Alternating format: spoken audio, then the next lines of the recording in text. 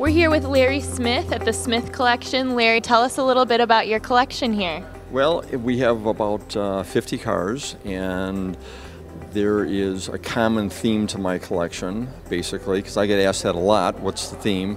And my theme is what I like. I collect what I like. So, you've got a 1936 Scarab as part of your collection. That's a pretty rare car. Can you tell us about that? I, I can. It, it, uh, it, was, it was designed and built by a fellow named uh, William Stout, who was an aircraft designer, who actually, um, this was, you know, the, the car, the Stout Scarab was his first attempt at building a car and he used a lot of uh, principles of aircraft design with aerodynamics and his motto was to add lightness.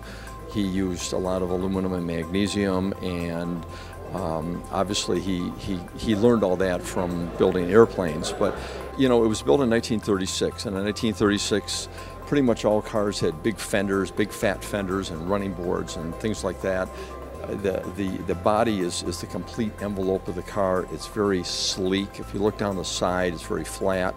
Plus, the engine is in the rear. It has a Ford flathead V8 mounted in the rear, which was really, it's, it's not the first car that had a rear mounted engine, but it, it was very, very unusual in that day. Uh, my car is one of five that is known to exist. Um, there's really no records as to how many. There's some people think there might have been seven or eight, but I, it's such an unusual car that I doubt any are hidden in some barn someplace.